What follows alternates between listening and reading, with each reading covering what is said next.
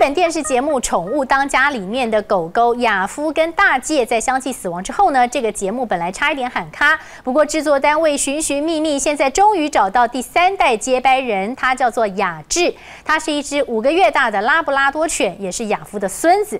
在这个月初节目一播出，他可爱的模样立刻吸引了不小的人气。主人丢出面包玩偶，小狗立刻飞快地跑去捡回来。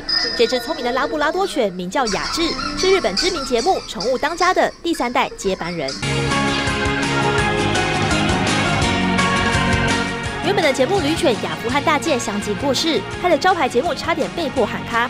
制作单位经过长时间的选拔，终于选中雅致来接班。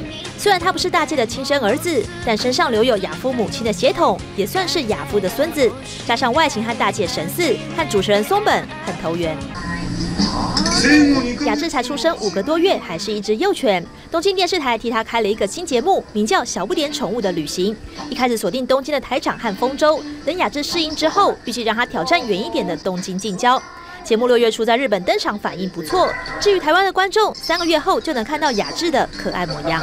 中天新闻林芳颖综合报道。